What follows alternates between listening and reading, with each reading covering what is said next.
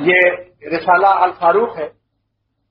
इसमें मेरा एक मजमून आया हुआ है, खौफ व खशियत। यानी अल्लाह के खौफ से रोना और उसके फजाइल। जिसके अंदर पहली हदीस ये है, जो शख्स जिसको रोना ना ना आए, रोनों रोने वालों की शक्ल बना ले। अल्लाह ताला उस पर भी फल फरमाएँगे। दूसरी हदीस ये है कि जब कोई मोमिन रोता है अल्लाह के खौफ से चाहे मक्खी के सर के बराबर आँसू निकले तो अल्लाह ताला उस जहाँ जहाँ आँसू लग जाएगा, अल्लाह ताला दोजख की आग को वहाँ हराम कर देंगे।